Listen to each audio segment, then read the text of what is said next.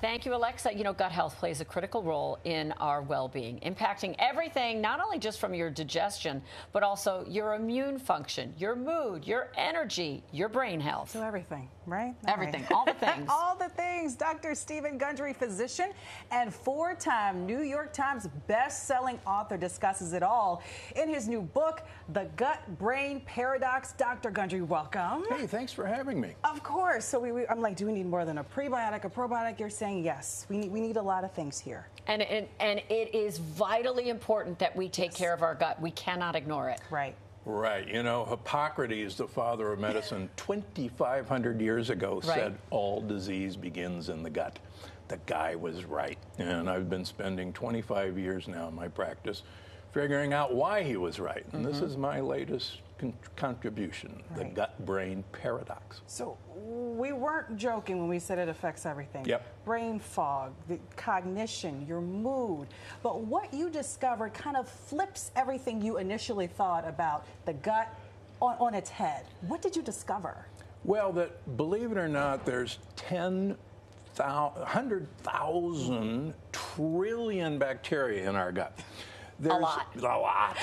There's a lot of them. And these guys, we now know, control just about everything that happens to us. For instance, our mood is mm-hmm. controlled by our gut bacteria. We can actually look at gut bacteria in people who are anxious and depressed, mm-hmm. and they're totally different than people who are happy. In fact, people who have an outgoing personality, like you, right. have different bacteria that make you outgoing. Get over it. you know, I find this so interesting because we are talking so much about how people are struggling with their mental health. Mm. We're also talking so much about the diets that we eat, especially here in the United States. We're also talking so much about obesity. These are not in three separate silos, are they? It's all exactly the right. same.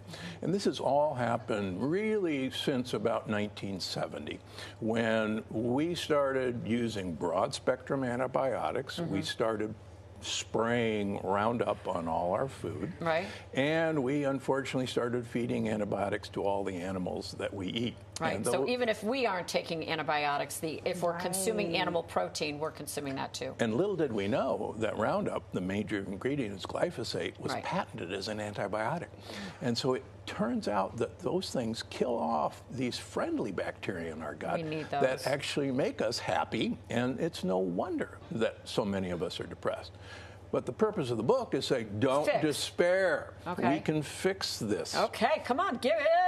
All right. We're waiting, doctor. First things we got to do. Most of us are profoundly deficient in vitamin D, D. Mm-hmm. the sunshine vitamin. Yep. Most of my patients need 10,000 international units of vitamin D3 a day. Mm.